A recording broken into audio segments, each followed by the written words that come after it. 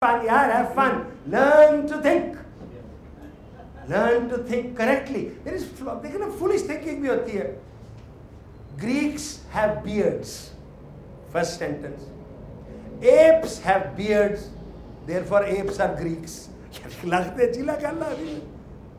But this is bad thinking. This is not logical thinking.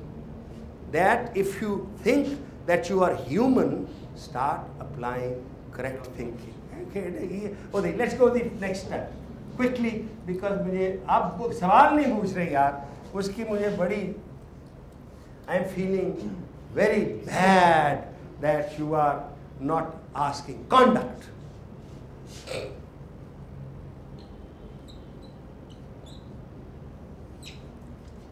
जी बेटी बोलो sir conduct में और आपने जो आपने कदरें बताई हैं उसमें आपने एक मुनाफ्त का आंसर लेके हैं। नहीं मैंने ये नहीं कहा। मैंने कहा अगर आपका कंडक्ट जो आपकी कदरें हैं उसके उससे फ़र्क है वो फासला मुनाफ्त मुनाफ्त sir who. Will decide you are right और wrong use yourself. Self you your decide from here. yes sir. लेकिन पहले टेबल तो सैट करना ना। Let me give you the most obvious example और मैं अपने बच्चे जो पुराने उनको कई दफ़ा देख चुका हूँ।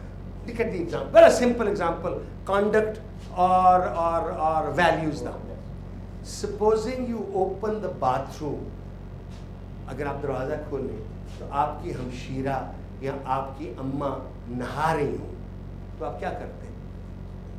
अम्मी खुद अम्मी एम सॉरी खुद oh M sorry M sorry क्यों? ये आपकी कदर है। तो जे तुम दरवाज़ा खोलो तो रीमन आ रही हो तो फिर की करोगे? ऐ मुनाफा अप्लाइज टू योर सिस्टर बड़ा simple what applies to your sister must applies to the girl next door देखो, एक रूल सेट हो गया है कॉन्डक्ट का। आप हर वो काम करो, जो कोई और करे तो आपको मंजूर हो। तो और मारो। तो सिद्धि, एक मिनट की कदर समझ आ जाएगी। अगर आप समझते हैं कि जाते हुए लड़की को छेड़ना मुनासिब फेल है आपकी हमशीरा को कोई छेड़े आपके पुत्र बहुत अच्छे मैं भी तेरे नाल छेड़ना। अगर आप समझें कि लड़कियों को घूरना मुनासिब फेल है अल्हम्दुलिल्लाह। आप एक तय करें अपने लिए एक कोड। आप सिद्ध हो जाएगा काम। आपको कभी सुनो मैं आपको हमेशा कहता हूँ पचास हज़ार दफ़ा आपके इम्तिहान होने हैं ना? Yes. आपके पास चॉइस होगी। मैं नकल मारूं कि ना मारूं? आपको पता है कि नकल मारना बैड है। गलत है। पकड़े जाएँगे तो नहीं पकड़े जो और मेरी सोटी ले आओ। हाँ मेरे क्षेत्र ले आओ। और पकड़े जाना इज़ नॉट द इशू मेरा सारा थीसिस ये है। मेरा सारा थीसिस ये नहीं है पकड़े जाने का। मेरा सारा थीसिस कल्प का है। Yes. इनर पकड़े जाए, क्या होगा? वो तो देख रहा है। वो याद है ना, वो सूफी की कहानी, बैठे बैठे वो सूफी की कहानी, जिन्हों सूफी को लोग, उनके उनके बच्चे आए, उन्होंने कहा, जनाब उन्हें सबको एक एक मुर्गी दे दी। और कहा कि, ऐसी जगह ऐसी जगह, इसको ज़िबा करो, जहाँ कोई ना देखे। तो सब वापस ले आए ज़िबा करके उन्हें कहा, मैं जंगल ही गया उन्हें तीजा बहु छोटा जो वो ले आके आ गया। उन्हें कहा, मैं ज़िबा नहीं कर सकता, हर जगह खुदा मौजूद है। इसलिए हमें प्रॉब्लम ये मैं कल एक किताब पढ़ रहा था।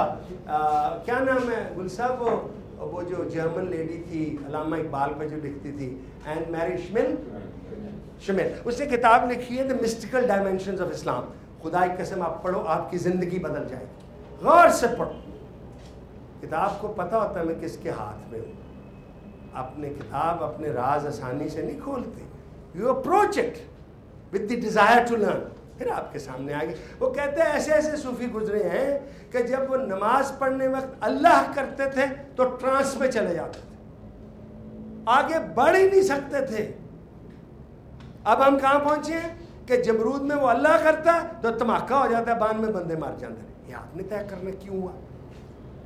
और मैं अभी भी सुनता अरे बड़ा हौसला मुंडे का जी। आप देखो ना उन्हें हिम्मत की थी। दिस इज़ इन डॉक्ट्रीनेशन यार। पंद्रह साल के बच्चे को आप पागल कर रहे हैं। ये आपने तय करना है। अगर आप समझते अच्छी बात है। तो मैं चाहता मेरे पास दो एड्रेस है, जिस बंदे ने खुद कुछ हमला करना, खुदा हाफिज करके पैसे जो मिले हमें अद्धे दे दे, फिर फ़ौरन चला जाके फौत हो जाए, हो सकता है। वो सुना ना आपने, वो एक छोड़ी मैं बात की और करा कॉन्डक्ट